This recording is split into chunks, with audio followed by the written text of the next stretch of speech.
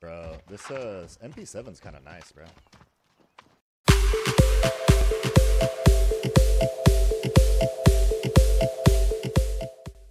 What's going on everybody and welcome back to the channel.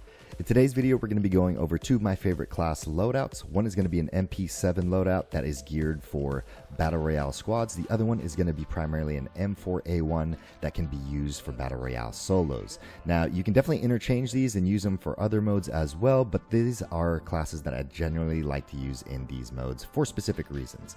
Now we're going to go over the perks, the attachments, and why I feel they are important to have. But before we get into all that, if you're brand new here, please drop a subscription on the channel, leave me a like or a comment if you wish. If you guys aren't aware, I do stream on Twitch Monday through Friday from 3 p.m. Pacific Standard Time. You can catch me at twitch.tv forward slash undemic and real undemic on Instagram and Twitter. Without further ado, let's hop into this video. Kicking things off, let's talk about the class I like to use in squads. This is going to be my MP7 and AX50 loadout. For the MP7, I'm going to be running a monolithic suppressor muzzle, FSS recon barrel, commando foregrip underbarrel, 60 round mag ammunition, and a rubberized grip tape for the rear grip. So you see where this little red dot is on the mini-map, it indicates where the enemy is firing from. The reason why I run a monolithic suppressor is so that I don't show up on the mini-map when I'm firing. Additionally, this monolithic suppressor will increase your damage range. So for example, if at 20 feet it takes 7 rounds to down an enemy, Maybe at 50 feet, it might take 11 rounds. Well, what this will do is it'll increase the damage range. So maybe at 50 feet, it'll only take 9 rounds. So basically, it'll take less bullets to down an enemy. For the FSS Recon Barrel, it'll increase your damage range, bullet velocity, and recoil control. This is really important to have good recoil control because when you start firing, sometimes the recoil and the spray pattern of the guns can be pretty wild in Modern Warfare. So with this, it's a lot easier to control the pattern. As you can see right here, there's almost no recoil when I'm firing at that enemy. The more you can control the recoil of your gun should translate into more shots landing, which means you should be more efficient at downing enemies. Further increasing your recoil control is going to be done by addition of the rubberized grip tape as well as the Commando foregrip. However, the Commando foregrip will also increase your aim stability. So if you're aiming down sight, it's going to be the little sway that happens back and forth before you start firing. And last but not least, the 60 round ammunition. I think it's super essential to have this because if you're in a gunfight fighting three different players, you're gonna you're not gonna have time to reload before you get into the next gunfight. So it's always good to have max ammo in any of the guns in Warzone.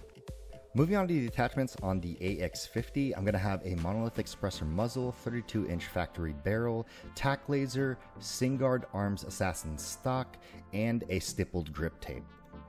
So for the monolithic suppressor, it's pretty much the same principle as with the MP7. The goal here is to mask your shots on the minimap so you don't appear as a red dot to enemies.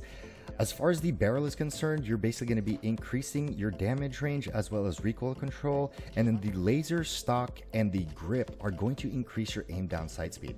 The snipers in this mode are very slow to aim down sight, and as you might have noticed, when you aim down sight, there is a noticeable glint off your scope. So enemies can really pinpoint your location pretty quickly, so you want to be able to get into your aim, fire a shot, and get out of the aim as quick as possible, reset, and then aim again. Additionally, with the stippled grip tape, you will get increased sprint to fire speed. So what this means is when you are in a dead sprint, in order to stop, aim, and bring your rifle up, it'll take longer to come out of the sprint and aim. With this attachment, it should reduce the time it takes to bring the rifle up, aim, and get a shot off quickly. Last but not least are the perks and consumables. So for perk 1, I'm running Cold Blooded, which should mask you from infrared scopes. I'm obviously running Overkill because I'm running two primary weapons. And for the third slot, I'm running Battle Hardened, which should increase your resistance to stuns, EMPs, and flashes. Alright guys, moving on to the best class setup for solos. We're running an M4A1 with a monolithic suppressor muzzle, stock M16 Grenadier barrel, Commando foregrip, 60 round mag, and a VLK 3.0X optic. Additionally, I'm going to be running an RPG, and for the perks I'm running Cold Blooded, Ghost, and Battle Hardened. For these attachments, the monolithic suppressor is once again going to mask my position on enemy minimaps when I begin firing. The M16 Grenadier barrel is going to increase my recoil control, bullet velocity, and damage range. This translates over faster rounds traveling over time, more damage being dealt over distance, and more control over every shot fired. Now the Commando foregrip is going to increase your recoil stabilization as well as your aim stability. So what this means is you're gonna have more recoil control as you fire and while you're aiming down sight, you're gonna have less sway left and right. And quite frankly, for the foregrips, I feel like the Commando foregrip has the best pros with the least amount of cons associated with it.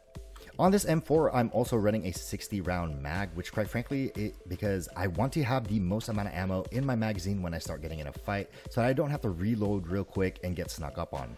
Now, the VLK 3.0X optic, the reason why I'm running that is because I'm only running this gun. I don't have a sniper in tow, so I want to make sure that I have a gun that is versatile enough to fight up close, but also fight from afar. And this optic definitely lets this gun do that. Alright, let's talk about the perks. The only main difference here is I'm running Ghost for my second perk, and the reason why is I don't want to appear on UAVs or heartbeat sensors. Especially since I'm going to be in a solo match and I can't rely on my teammates. So with that being said, I'm also running a heartbeat sensor. For anybody not running Ghost in the game, I can essentially pull up a portable UAV out of my pocket, scan an area, and then move forward. I mean, cautiously, of course. I mean, you don't want to run into a building you know, fully trusting the heartbeat sensor because some people are going to be running ghosts and they will not appear. But for the most part, it's like 50 50. It at least gives you that peace of mind that you can scan an area and feel a little bit safer moving forward. And lastly, I think this is extremely crucial to run an RPG in solos. The reason is in Warzone, there are so many people in solos running around in trucks. And if you've ever been run over by a truck, it is so frustrating, especially if you have like 10, 15 kills and are close to the end game. So run an RPG, anybody rolling around in a truck, simply pull out the RPG and blast them. It is a one shot direct hit kill if you get them down. With that being said, that'll wrap up this video. If you guys haven't done so already, go ahead and hit that subscription button. Visit me on Twitch to watch my stream live. And without further ado, I hope you guys stay happy, stay healthy. I'll see you guys next time. Peace.